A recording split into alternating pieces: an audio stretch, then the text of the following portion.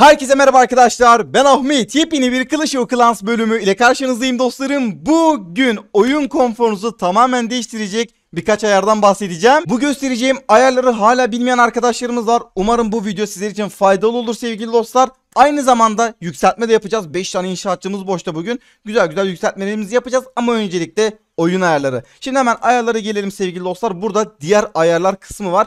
Buradan öncelikle saldırı ayarlarından başlamak istiyorum. Şimdi gençler yorumlarda da görüyordum. Abi senin niye eşleşme sırasındaki bulutların siyah? Burada arkadaşlar ayarlar bölümünde eşleştirme sırasında kara bulutları göster kısmını açık yapmanız gerekiyor. Hatta şöyle göstereyim saldır diyeyim eşleşme bul bakın. Burası tamamen siyah sevgili dostlar. Eğer orası kapalı olsa şöyle göstereyim tekrardan diğer ayarlar ve burayı kapatalım. Şöyle beyaz gösterecek ve inanılmaz göz ağrıtıyor. Gerçekten çok göz ağrıtıyor. Özellikle geceleyin oyun oynarken e, ışık kapalıysa o beyaz ışık gerçekten gözümüze zarar verebilir. Zaten bundan dolayı getirdiler kara bulutları. Ben açık olarak kullanıyorum. Siz de açık olarak kullanın. Hem göz sağlığınız için hem de cihazınızın pil sağlığı için sevgili dostlar. Hemen altındaki en önemli olay. Ben görüyorum adam bana saldırı videosu atmış. Bakıyorum ekran habire titriyor. Gençler buradaki ekran sarsıntısını kapatın. Şimdi bu ekran sarsıntısı olayını bir göstereyim sizlere. Burası açık bir şekilde birçoğunuzda. Hatta oyuna yeni başlayan ya da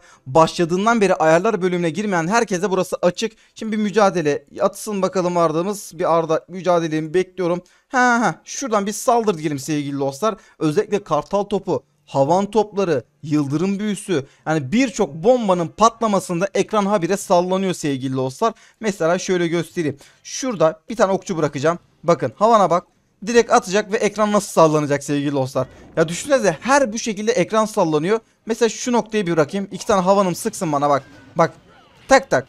Habire sallanacak sevgili dostlar. Mesela kartal topu vurduğu zaman mesela bir saldırıya geçelim. Mesela saldırıya geçelim sallamasyon bir şekilde askerlerimi bırakıyorum. Kartal topunu aktif ettim. Baksanıza sürekli ekran sarsılıyor ve inanılmaz sevgili dostlar bir can sıkıntısı yaratır. Cümleyi kuramadım ama anladınız. Baksanıza ekrana bile sallanıyor. Yani burada askerleri, büyüleri istediğiniz yere atmakta inanılmaz inanılmaz zorlanabilirsiniz sevgili dostlar. Bilginiz olsun baksana. Deli gibi sevgili dostlar ekran sallanıyor.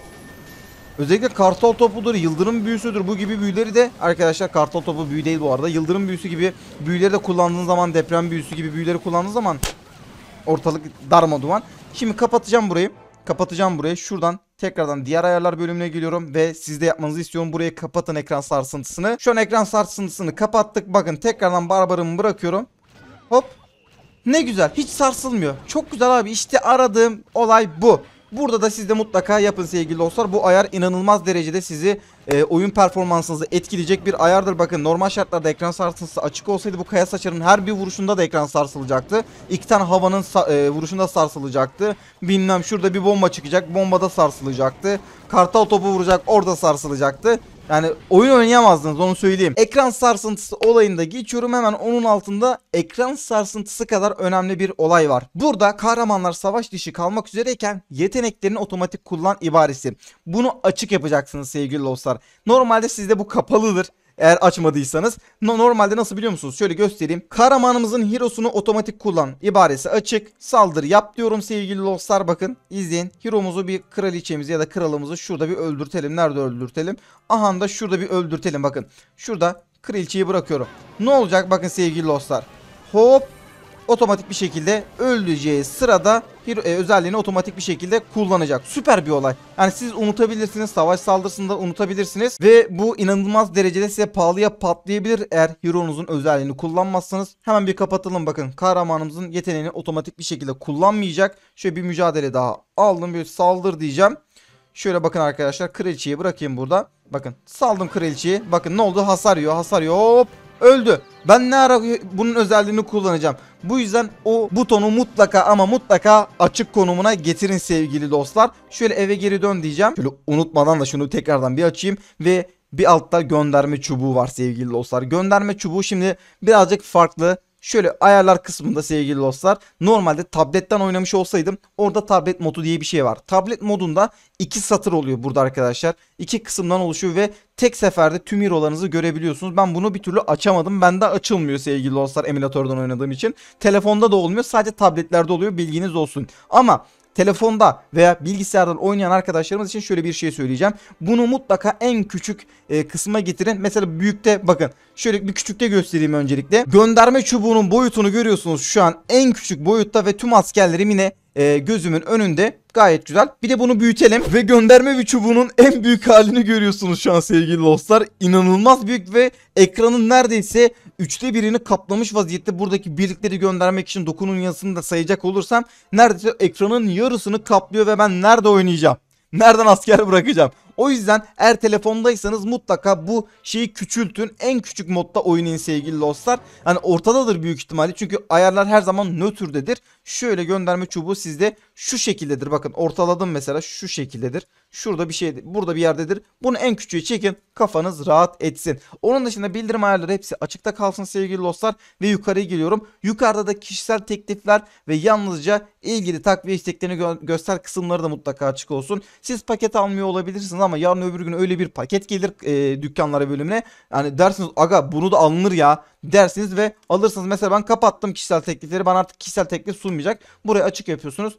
Bundan sonra artık oyun içi paketler sunacak. Ben zaten e, teklif alıyorum o yüzden açık kalsın. Siz de açın zararı yok sevgili dostlar. Burada da hemen e, ilgili takviyeyi göster. Bu da ne biliyor musunuz? Sizde olmayan bir asker varsa onun isteği gözükmeyecek. Ben yine de açık bırakıyorum. Çünkü benim bu hesabımda eğer o istenilen asker yoksa bile diğer hesabımda hemen bağışlayabiliyorum. Bunun da zararı yok. O yüzden açık yapın. Bir de klan sohbetini filtrele kısmını ben kapalı yaptım. Niye? Çünkü bazen arkadaşlar Türkçe kelimelerde herhangi bir problem olmasa bile e, filtreleme olayı olduğundan dolayı gözükmüyor böyle yıldız yıldız gözüküyor. O yüzden buraya ben kapalı yaptım. E, zaten niye getirdiyseler. Ya tabii ki de klanda argo konuşmalar olursa eğer buradaki arkadaşlar görünmeden rahatsız olmayacaksınız. O yüzden var.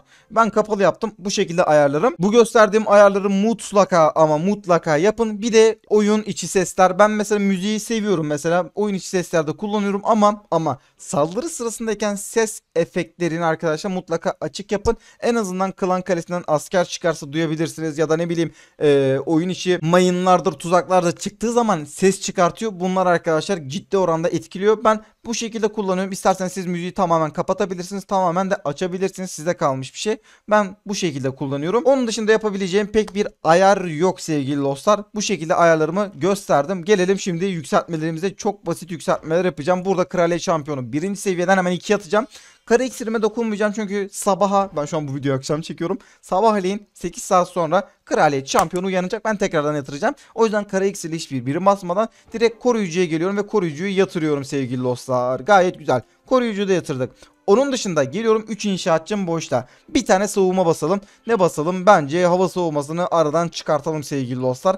Şöyle bas gitsin mi basma gitmesin mi? Dur.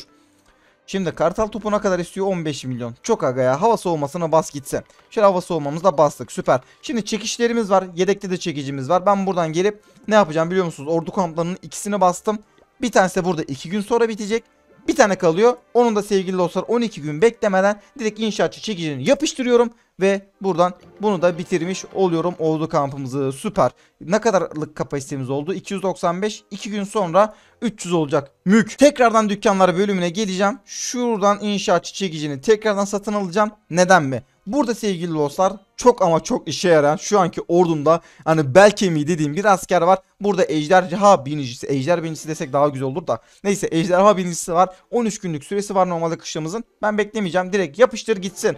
Buradan ejderha binicimizi de açtık. Hayırlı uğurlu olsun. Bundan sonraki ordularımda kullanırım. Ve ve ve daha bitmedi. İki inşaatçımız var. Buradan geliyorum aga.